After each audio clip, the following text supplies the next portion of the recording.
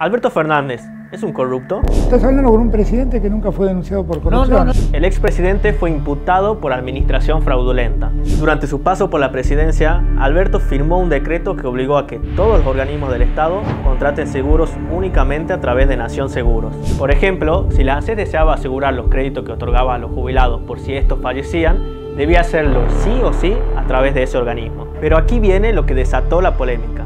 En cada operación intervenían empresas privadas que habrían recibido comisiones millonarias. Solo en el ANSES se estima que habrían existido 300 millones de pesos mensuales en comisiones. ¿Y por qué está implicado Alberto en esta trama? Alberto designó a Alberto Pagliano al frente de Nación Seguros, quien sería su amigo íntimo. Además, uno de los empresarios más beneficiados habría sido Héctor Martínez Sosa, quien está casado con la ex secretaria de Alberto y quien visitó muchas veces la Quinta de Olivos. La denuncia está en la justicia y ya se avanzó en varios allanamientos, pero Alberto se despegó del caso. Y si estuvo implicado o no, lo terminará definiendo la justicia. Pero mientras tanto, ¿vos qué opinás?